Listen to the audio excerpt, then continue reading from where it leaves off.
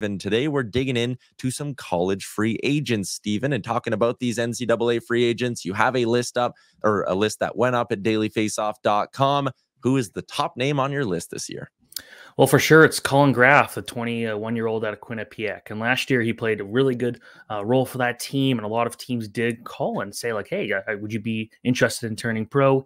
He decided to go back to college and is having an unbelievable season again this year. Like, you see the numbers. You don't typically see you know 80 90 points in college. So uh, nothing might not come come off crazy compared to some other levels of hockey but what he's doing this year on a team that doesn't have a lot of nhl talent on it nhl drafted talent i should say uh, it's just incredible. You know he's got some good size really high level hockey sense. He spends a lot of time around the net finishes a lot of goals from in close.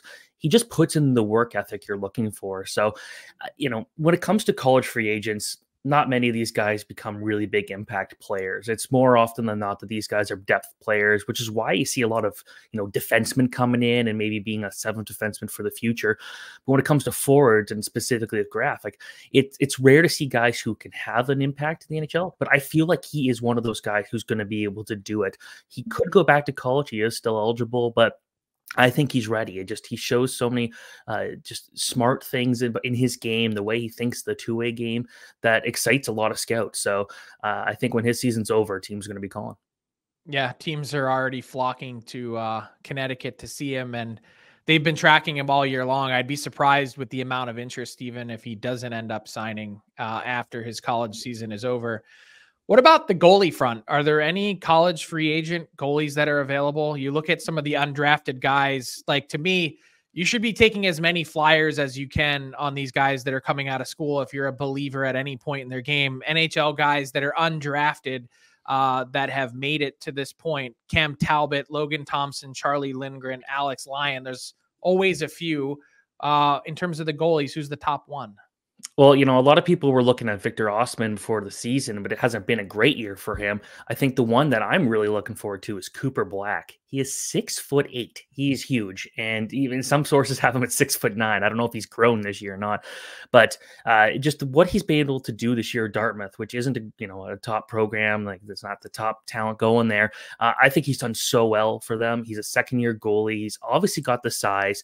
Uh, maybe not the quickest goalie in the net, and sometimes can be beat because he's just not moving fast enough.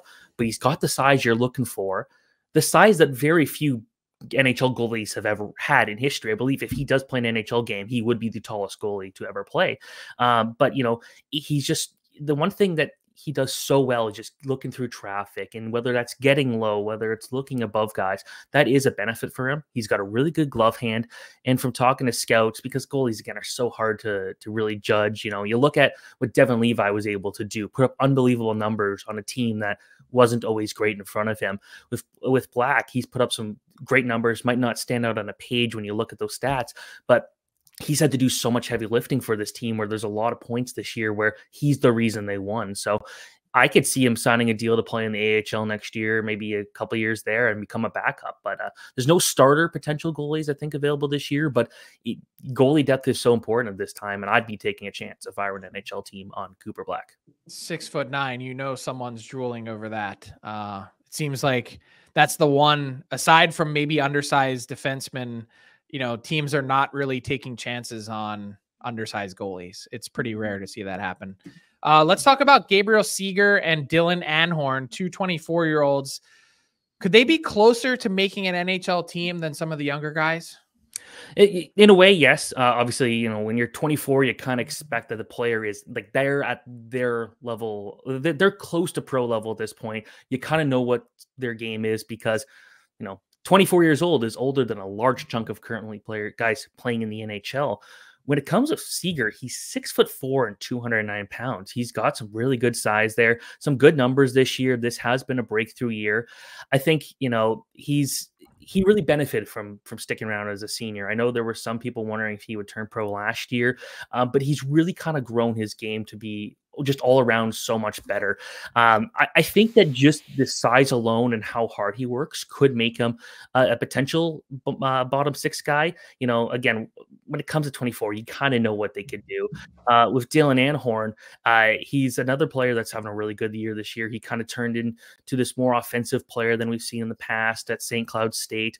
I think that uh, he also played two years at Union College. In that move to St. Cloud State with some good coaching there, really kind of helped elevate his game to show that you know he's a smart player that just needed that opportunity to kind of really go out on his own and, and take control of the puck. And um, I think he's kind of just a prototypical guy you'll see in the AHL that could get called up from time to time. But yeah, when it comes to 24 year olds, it's like you, would hope these guys are closer to playing in the uh, the NHL, but in reality, the potential is not typically high for them to become full time players.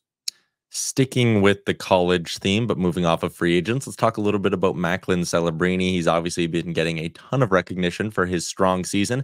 Hobey Baker, though, well, it's it's a tough one because you know a lot of people are looking at Cutter Gauthier and seeing that, and guys like Will Smith, just so many talented players. Lane Hutson again, but what Celebrini's doing as a rookie this year, like it's it's rivaling what we saw last year with Adam Fantilli, and in some cases maybe even better. Put up unbelievable numbers this year. He was actually the Hockey East scoring champion. Just reading off some of his other stats here: Player of the Year, Rookie of the Year, He's a Hobey Baker uh, nominee. He's a finalist for the award in the, the, the final 10. Uh, they do the way the, the Hobey Baker works is they have like a bunch of nominees, then they go to a top 10, and then they go to a top three. I do expect him to be in the, the conversation there for three because even if he doesn't end up, you know, being the top scoring player in college hockey, 55 points in 33 games mm-hmm. as a freshman. He missed a couple games at the start of the year due to injury. That didn't seem to slow him down there's been no question all year long that Macklin Celebrini is the best prospect in this draft. He just does everything so well. Like he's as close to a complete player as you're going to find playing college hockey. And I'm glad he took this route. I, I don't know how much he would have benefited from playing against kids his own age in the WHL at least going here and playing at Boston University. He gets to be in that weight room. He gets to play against older competition. A lot of these guys are going to be playing pro hockey next year, and that has really set him up here. So, you know, he's benefited from having a guy like Lane Hutson passing to him uh, often, especially on the power play. But Celebrini, what he's done this year, the offense, all the accolades. I hope he gets the Hobey Baker just because that'd be pretty fun. That'd be an awesome story. And you mentioned Lane Hutson there, and wanted to put you on the spot of all the players that could jump to the NHL after this college season ends, who are you most looking forward to seeing in the NHL this year? I kind of hope it is Lane Hutson, just because I think that'd be pretty fun. Uh, you know, I, I, know. I'd be surprised if he isn't in a Montreal Canadiens uniform. This is the most exciting juncture of their season. Obviously, David Reinbacher coming over, and you know they're they've got so much to look forward to to get their hands on these guys. But Cutter Gauthier, like I'd imagine he'd be in the Ducks lineup at some point. Who else is on the on the radar? So I, I, don't know if everyone really kind of will agree on me this one, but I think Will Smith's ready to go to the NHL. Um, both him and Ryan Leonard in particular are two guys that I think just have the skill level to step in right away. Ryan Leonard, uh, you know, a power forward guy putting up outstanding numbers this year at uh, Boston College. Uh, basically, just look at Boston College lineup and like half these guys probably should be in the NHL, whether it be Gauthier. I think Will Smith's smart enough that he could step in immediately and do something with the Sharks. Um, but uh, when it comes to Hutson, you know, we, we know that it doesn't look like Reinbacher is going to step up to the NHL next year.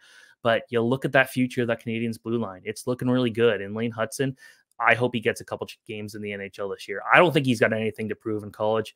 I do think he should spend the next year in the AHL to kind of get used to the, the more physical nature of pro hockey. But give him I'm a little taste. Got to dangle the carrot. Yeah, yeah. Give get let, I mean, let him play a couple games in the NHL. Send him to Laval next year. See what happens. Got nothing to lose.